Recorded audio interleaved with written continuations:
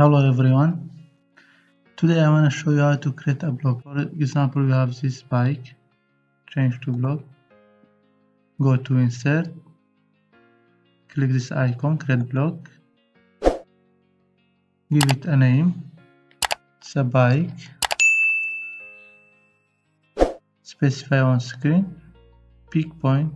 Click this.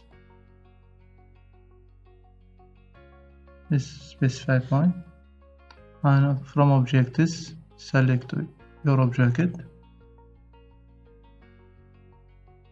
when you select press enter.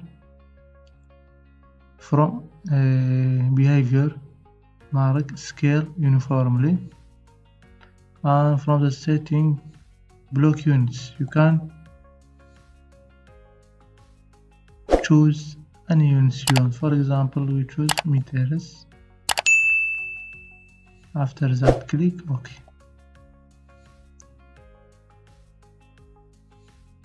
As you see we convert to block.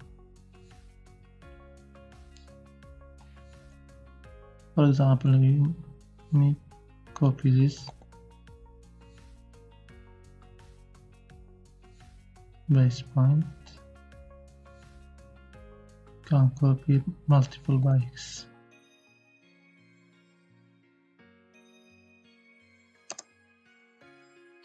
and you can edit your block double click the object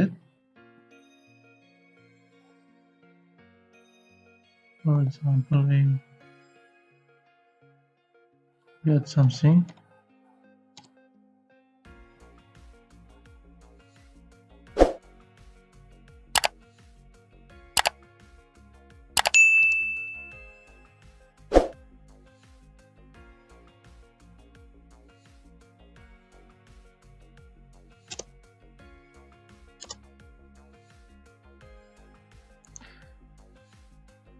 after editing click close block editor. Save the change to bike yes click. Oh, as you see all the bikes change. Thanks for watching